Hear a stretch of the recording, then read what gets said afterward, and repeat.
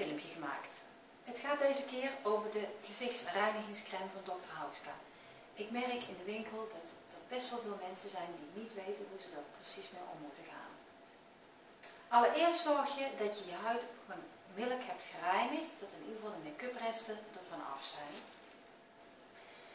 Dan neem je de gezichtsreinigingscrème. Deze is op basis van amandelcrème.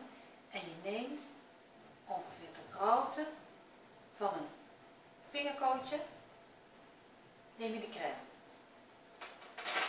Je verdeelt hem over je vingertoppen en niet over de handen, want dat werkt heel ongemakkelijk. Het zit op je vingertoppen, dan breng je de crème breng je met duwende beweging aan op de huid. Neem een klein beetje water, dan wordt hij wat smeuiger en dan ga je echt werken.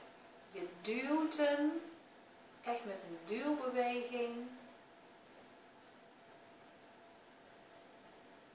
over heel de huid. Je neemt het hele gebied neem je mee. Als je merkt dat hij wat te droog wordt, pak een klein beetje water bij.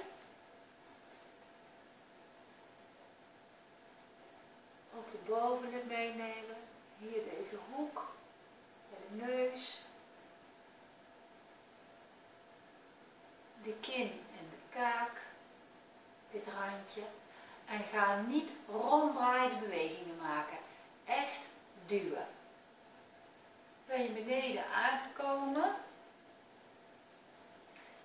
Ook de hals even meenemen. Als je alles hebt gehad, maak je je vingers weer een keertje nat.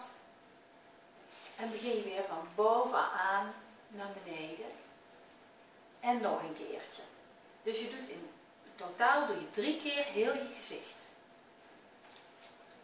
Dan neem je een gassendoekje of een compressdoek.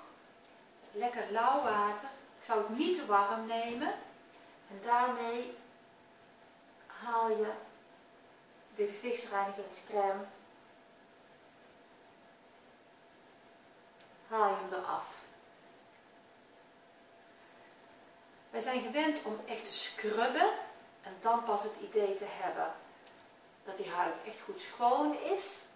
En je zult merken op deze manier dat je huid lekker fris, open en schoon aanvoelt. Veel plezier met het hele fijne product.